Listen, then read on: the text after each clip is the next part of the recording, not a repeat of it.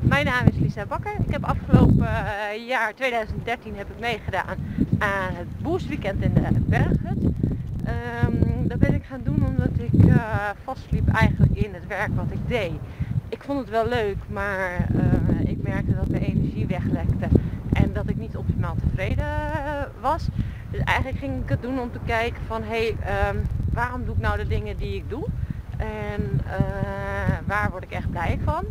Nou, in het weekend uh, ben ik eigenlijk vooral daarmee bezig geweest. Van, uh, wat is nou belangrijk voor mij uh, in werken? Wat,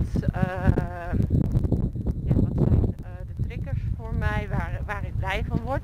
Nou, daar zijn eigenlijk voor mij vijf punten uitgekomen die belangrijk voor mij zijn in werk. En dat heeft met vrijheid te maken, met actie, met creëren, met gezien en gehoord worden.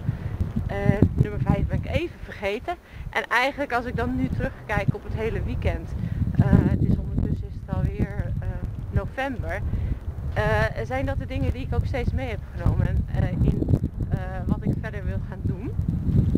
Um, dus eigenlijk is voor mij het weekend wat het heeft opgeleverd is eigenlijk een soort van hou vast voor de toekomst. hey, dit vind ik leuk, hier word ik blij van.